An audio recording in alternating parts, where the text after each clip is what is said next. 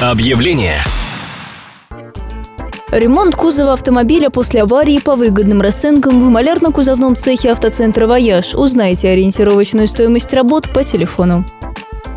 Требуются сотрудники в кафе быстрого питания для работы на постоянной основе. Обязанности – выпечка блинов, подготовка и уборка рабочего места. Объявление.